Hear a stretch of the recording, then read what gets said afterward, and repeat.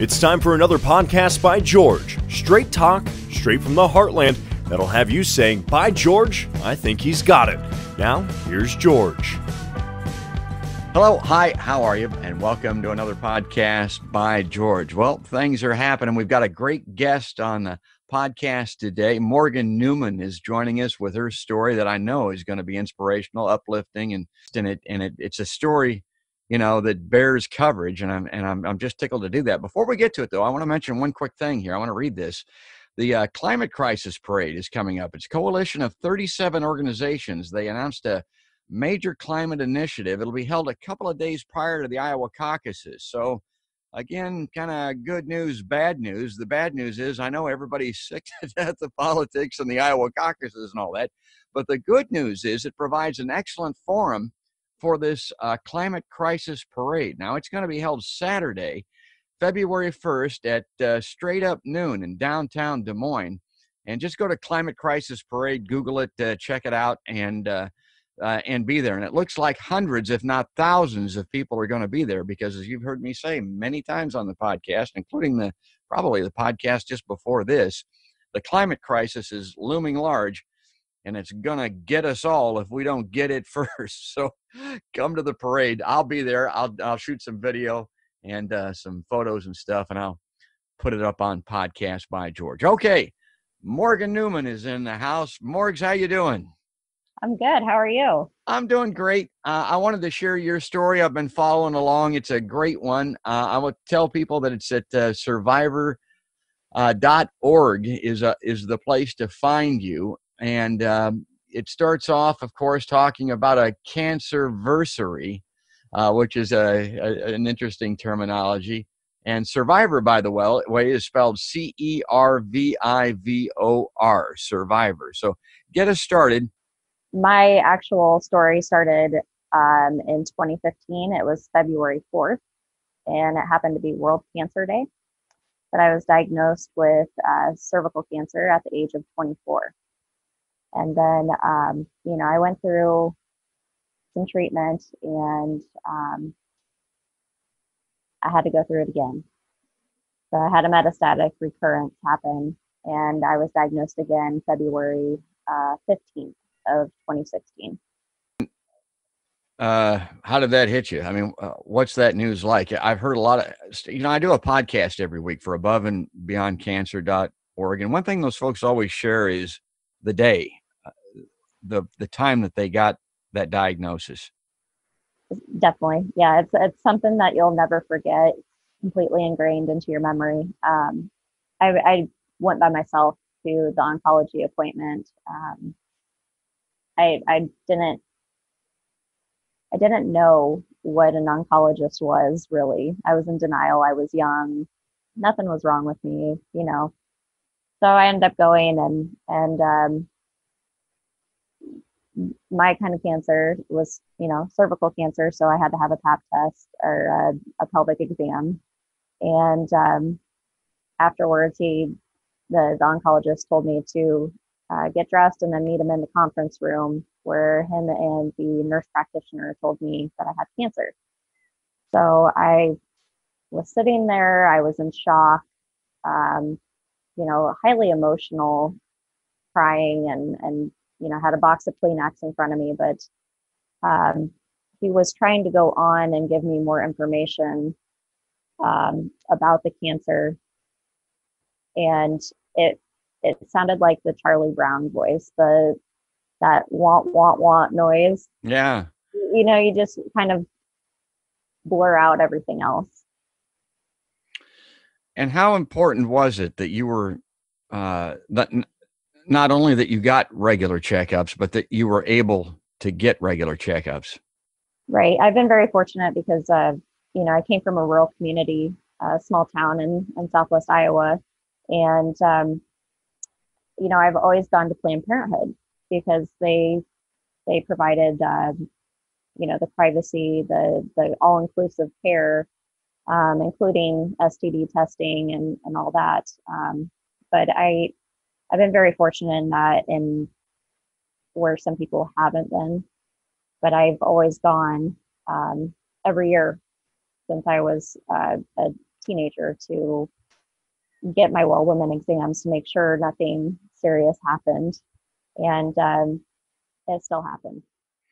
I mean, would it be an overstatement to say it's the reason you're alive today? Oh, it that's definitely definitely not an overstatement. I I'm very grateful for that organization and what they've done for me. Um, you know, I was I was fortunate that uh, the PAP test was due on that year.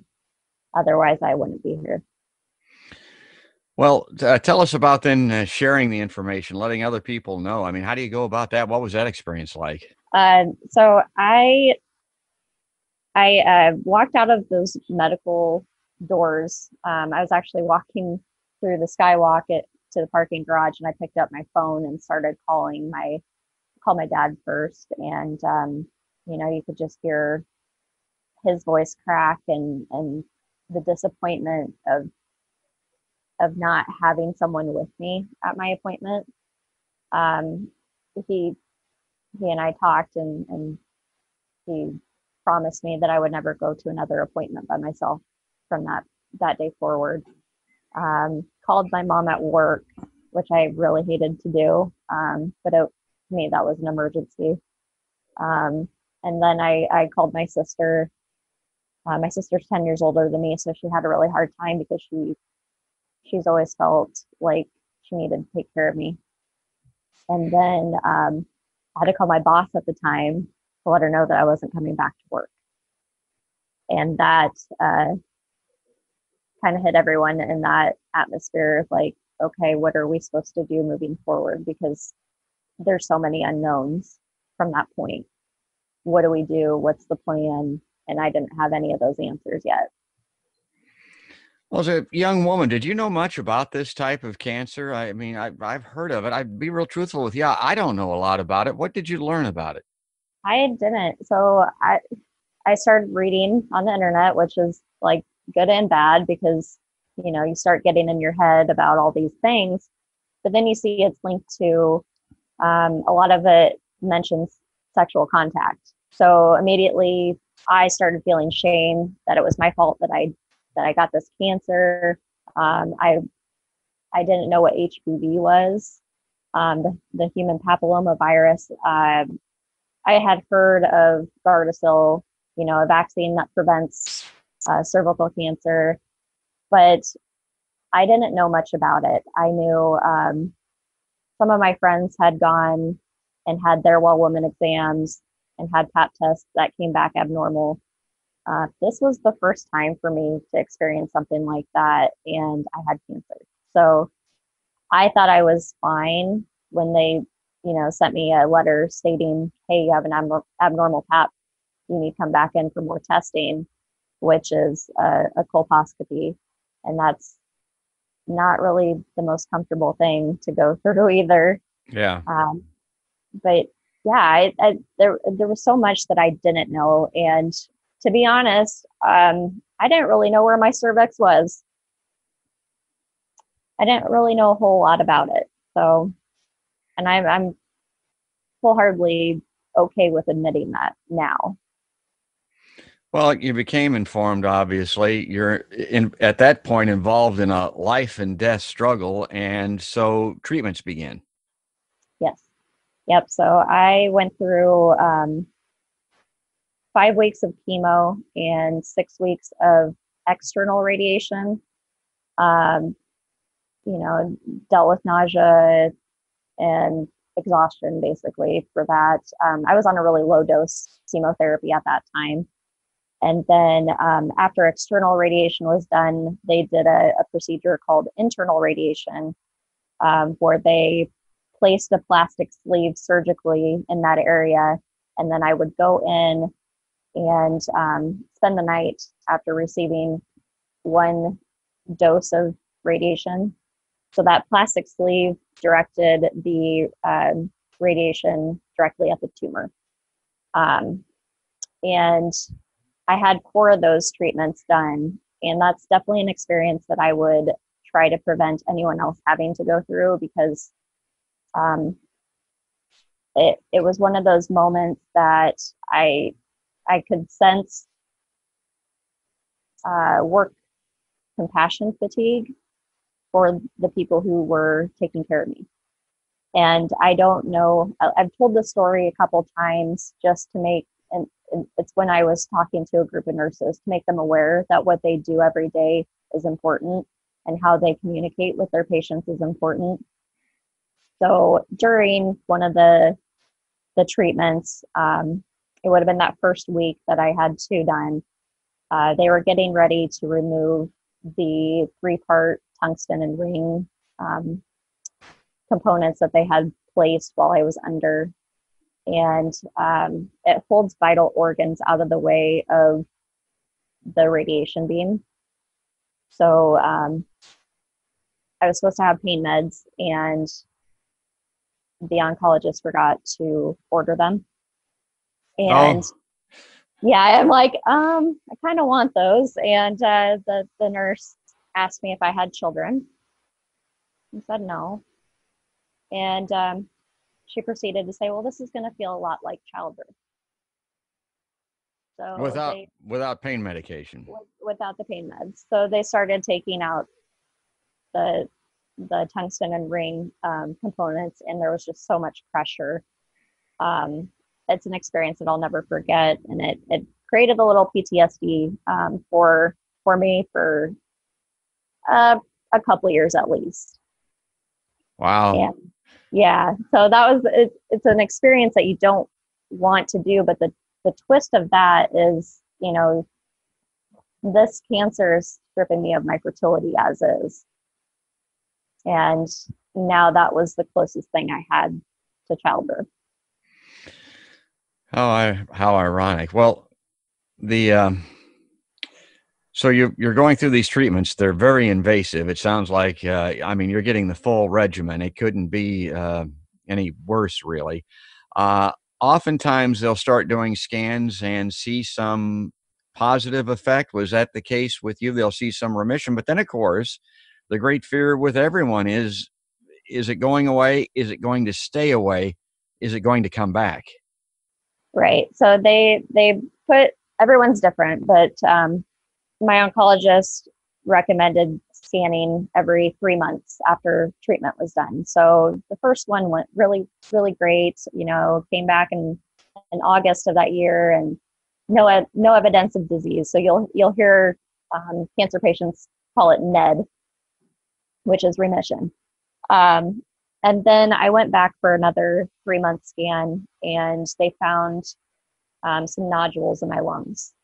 And they were trying to rule out a fungus that most Midwesterners get. Um, and, you know, usually that fungus is pretty harmless. But I had to go undergo uh, more testing. So I went in for a CT um, needle guided biopsy and um, basically was put through the ringer on that. I had a bad experience where my lung collapsed and um, it the the specimen that they got was contaminated. So you know things happen. Oh my God, I, that's terrifying because I don't have to tell you the the great fear is is that this isn't localized, that it's uh, spread uh, around your body, and they find these nodules in your lung. And they're thinking maybe it's a fungus or something, which is an extremely rare, long shot type of a thing. You had to be really right. scared at that point. I mean, really scared. I, I was terrified. So I, I went back and I had to have a scope down my throat, and they were trying to get it that way. Um, and they were successful in that. So I was I was grateful that they got what they needed. I didn't have to undergo surgery for for it. Um, but then I, I took a little vacation with my boyfriend at the time and our roommates, and um, we went down to New Orleans for Mardi Gras and just had a really good time. And um, came back and that that following week i found out that it was the same uh, cervical cancer cells that i was originally diagnosed they had metastasized. So um, it meant treatment again. So definitely a feeling um, you know my, my dad and i are sitting there in the exam room waiting for the infectious disease doctor to come in to give us the results and we're just bantering back and forth with these awkward you can feel this awkwardness of we're both terrified And um, the doc comes in and his eyes dart away from me just as quickly. And I knew right then that I was going to be facing cancer again. My God, and you're uh, such a young person. I, you, like you say, not only you would think that you're bulletproof, but old gummers like me would think, my God, you're I, number one, you're not going to have something like this. Number two, if you do that, you'll overcome it quickly and easily because of your youth. But there was nothing quick or easy uh, uh about this. Uh, Okay, get us caught up here. Kind of fast forward a little bit and and tell us what happened then. Um, so I decided to have a second opinion, and I went up to the Mayo Clinic in Rochester. Um, started treatment right away, and um, this treatment was a, a three-part uh, heavier dose drug. Um, they they call it the cisplatin cocktail. Um, no radiation this time because it would have been too toxic. But after just three treatments, I was considered um, no evidence of disease, which brings in the June 2016 date. Um, I still had to I, I still had to go through three more treatments because six is the standard, and they want to make sure they get every little cell possible in that body. But um, that was the most intense treatment that I felt um, for cancer, and um, my body went through a lot. I went through neutropenia and had to have extra medication to help boost my my numbers back up in order to receive those next doses. So it just really brought me brought my whole body down and and really kind of kicked me while I was there. My God. Well, the other thing that always comes to mind, and it shouldn't, and maybe someday it won't in this country, but uh, it's uh, what everybody's talking about right now health insurance, mm-hmm. medical costs. I mean, uh, so many people, uh, literally, uh, number one cause of bankruptcy, I think, are these healthcare expenses. Uh, were you covered? Were you all right financially on this? I, w- I was. I was very fortunate. Um, I was on my mom's insurance. I was still under 26. Oh. Um, so I, I've been very fortunate in that I have had some medical costs that um, our music community in Des Moines did a really, really fantastic job of helping me when I needed it the most. Um, Brother Trucker was there for me when I needed them. Um, they put on a couple benefits. You gotta love Brother Trucker. yeah, well, yeah. that's how Morgs and I got caught up. Uh, actually, is uh, attending some of these live music events. Well, okay, so um, yeah, it looks like they get the last of this, but eh, cancer survivors always talk about being in, in remission. It's it's folly to say that you're cured. I mean, there's no permanent cure with this type of thing. You're you got to keep tabs on it. It's it's always a potential flare up, right? Yeah. So I I have a metas I have metastatic disease, which essentially there's no cure for. Um, you can put it into remission, and it may never come back. But the reality is, um, I could be diagnosed anytime again, and the the statistics that my oncologist shared with me for my specific situation only 7 to 9% of women have a complete interval response. Meanwhile i'm i mean that's a very low percentage. Um, meanwhile other women are maintaining this disease and it's preventable um, for the rest of their lives however long that is or they're they're dying right away from this cancer. So it's a real eye opener well, you didn't just uh, sit on your laurels either. I mean, as soon as you were able to, you started um, letting people know about what was happening, and you're uh, working today still trying to keep people informed and to sound the alarm on this really insidious disease. Uh, tell us how you're doing today, and tell tell us what you're doing along those lines. Absolutely. So I am. Um, I'll be five years out since my initial diagnosis and um, working on year four of remission. I'm I'm in fairly good health. I've been dealing with side effects that I don't. I, I've learned how to um, manage, I guess. Um, but I I volunteer tremendously with um, Cervivor, the American Cancer, excuse me, the American Cancer Society Action Network, Above and Beyond Cancer, um, Bras for the Cause, Madison County chapter. Um, I mean, the list goes on and on. I try and get involved with as much as possible because um, people just don't know. And um, educating and, and spreading this awareness has helped me heal a lot more. Um, I, I don't know how else to explain it. Just the fact that I feel like I have a sense of purpose and I'm here for a reason. Um, whatever that may be, but I think this might be it. I think so too. And you're doing a great job at it. And I'm sorry to hear about the side effects. Now, everybody's different. Statistics mean something when it comes to these cancer stories. But like I said, everybody is different. Is there reason to believe that you'll be free of all side effects and be uh, completely healthy and, and uh, back to a normal person for your age?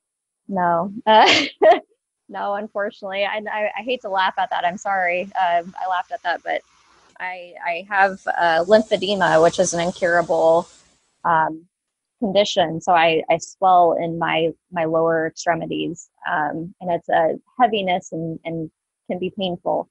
Um, the the radiation damage done to my GI tract um, has caused so much so many issues. Now they have improved because there are things you can do dietary and and whatnot, but um, yeah, there's just some things that can't be taken back. And and as much as I want to be the the old me, it'll never that'll never happen. I this is a trauma and it changes everyone. Um, sometimes sometimes it's a blessing, sometimes it's not. And I, I say that because uh, one of our favorite quotes from Cervivor School is uh, cancer is cancer is a gift wrapped in barbed wire. It, it, so it teaches it, you. A, a, gift wrapped in barbed wire? Yes. So you, you don't want it, but it teaches you what you really truly want in life. And it it pushes you um, to do something with it.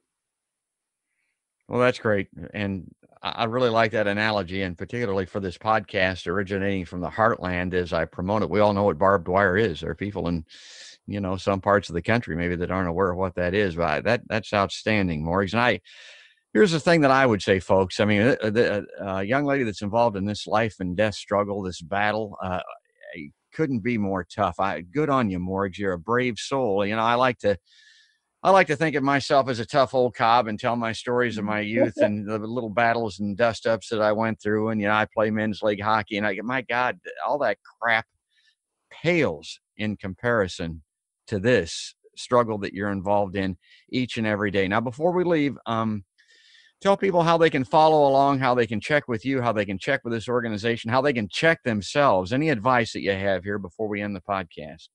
Well, we have we are on like all social media platforms, so you can find most of our our stuff is I am Cervivor or um, Cervivor.org is a is a great website. It, there's plenty of of uh, facts. There's plenty of resources available on that website. Um, just make sure if you feel like something's off, advocate for yourself. Right? That's the best advice that I can give anyone. Um, your health is is yours, and it's it's the only chance you have. So make it worth it.